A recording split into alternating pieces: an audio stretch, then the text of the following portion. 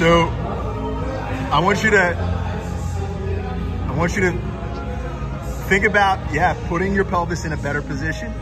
All right, so now your pelvis is what we say posterior pelvic tilt, that you're you're getting the bottom portion of your uh, your lower back off the ground and rotating your pelvis upward. All right, you're gonna push the middle of your back and you're gonna lift your head up just a little bit.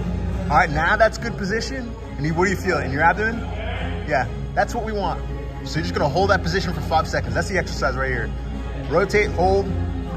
And I think this is a better progression for you than the straight leg sit up.